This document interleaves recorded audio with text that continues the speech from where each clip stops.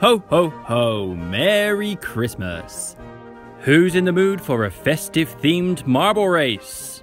Snowy scenes, tacky decorations, piles of presents, and tales from the Christmas story.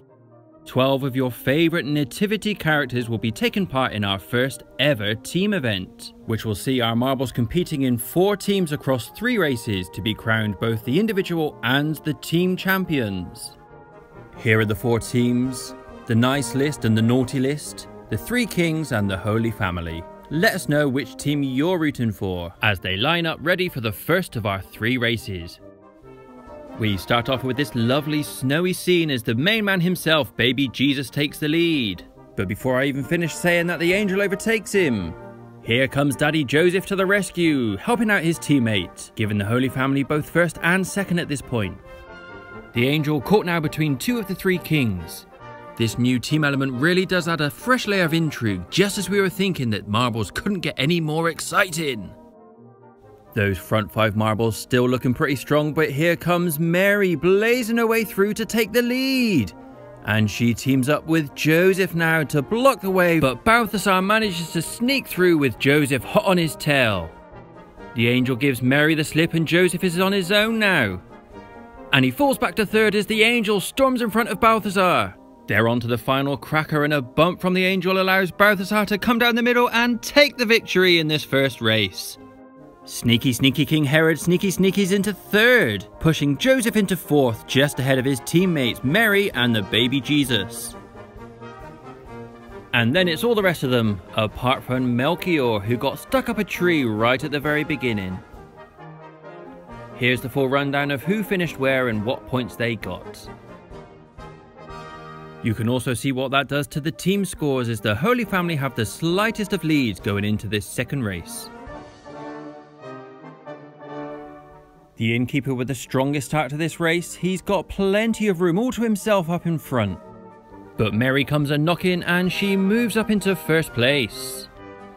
The shepherd makes a move from the back but hits a bit of congestion which slows them all down.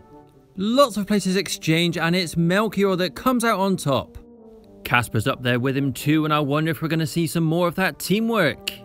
It doesn't seem so, that's not very wise, man. Casper still manages to get a very healthy lead though, far off to the east of our screen.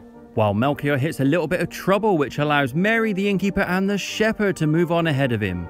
It looks as though Casper has taken the gold, you certainly couldn't expect any more from him.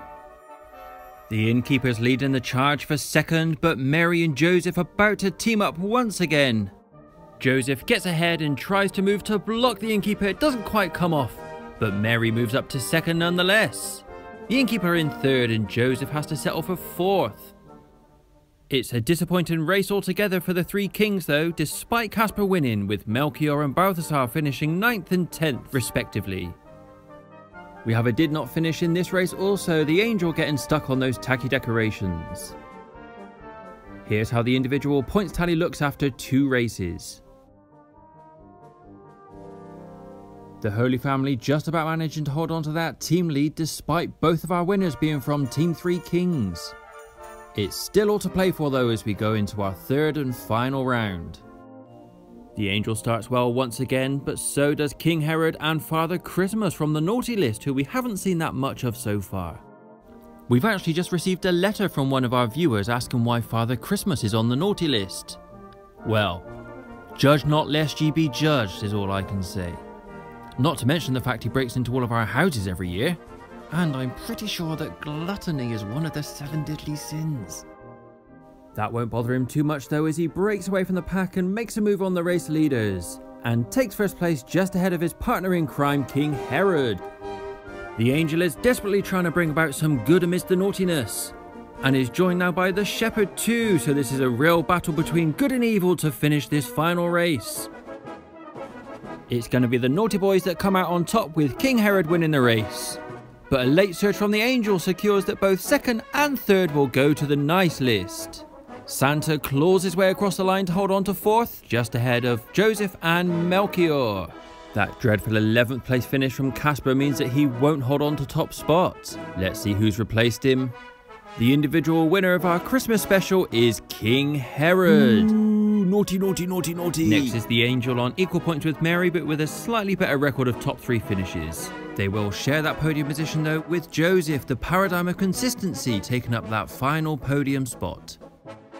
And the winning team is the Naughty List. No, Christmas is ruined. Very close in the end, and they do win it by just one point. And if you're watching Father Christmas, it, you know we're joking, right? Yeah? You cool? We cool? Yeah, we cool. Thank you for watching. We wish you a very Merry Christmas and a Happy New Year.